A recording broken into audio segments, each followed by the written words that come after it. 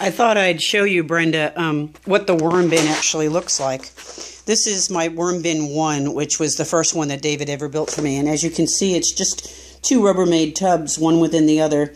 Uh, the top one has some holes drilled into the bottom of it. And I have a couple bricks in the bottom to kind of create a gap between the bin on top and the bin on the bottom uh, so the water can accumulate. You know, as you put organic matter in there that contains water, all of that water will drip into the bottom and you have to empty it from time to time.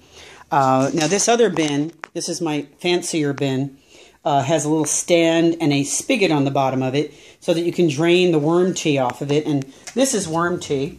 It is basically just um, uh, it's fertilizer mixed with water. Uh, it's what it's the byproduct of all this breakdown of organic matter. These are the sifters that David built for me.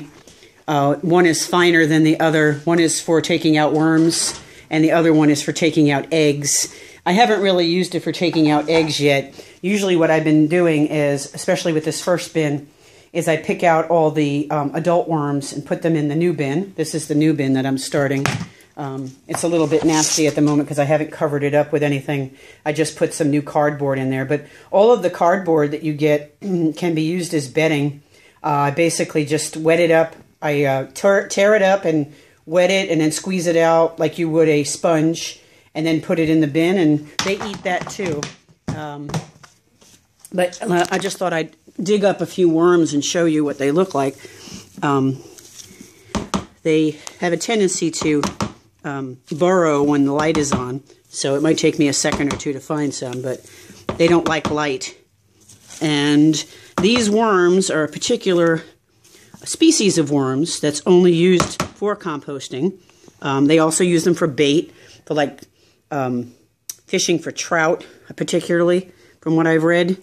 Uh, here's another one. These are pretty much fairly young, especially the one on the right. They, they get about about four inches long. This is where all the women start getting all skeeved out because, oh God forbid, I'm handling worms. They don't have beady little eyes or wings or legs, or, and they don't bite. In fact, they don't really like to be handled because your skin is very rough to their skin. Um, you have to be careful about oxygen with these.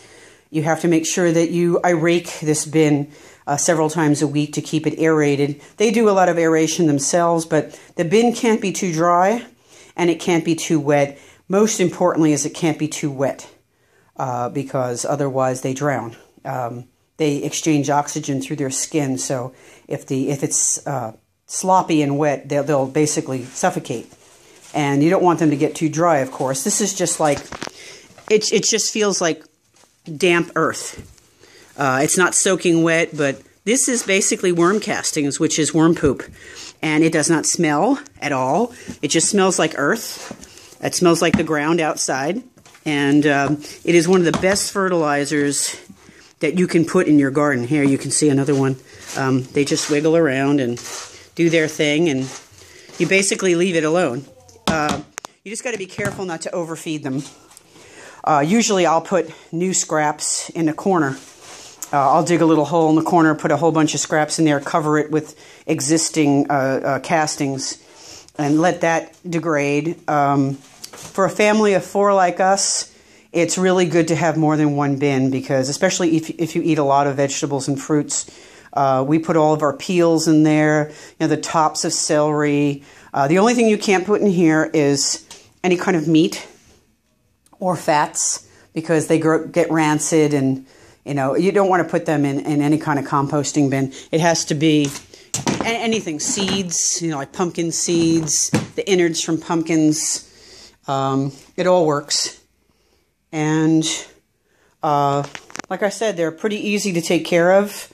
Uh, you just got to be careful in the summer. I always usually put a little handful of dirt or cardboard over the scraps during the summer because otherwise you get all sorts of little gnats and things like that. Uh, if you cover up the scraps, you won't get that. Uh, and they just do their thing, and it's great to teach the kids about the earth. And like I said, it's great free fertilizer for your garden and your flower beds. And that's about it. Um, be happy to teach anybody how to do this. It's very easy. And I think these bins cost at the dollar store all of about maybe $10 each total.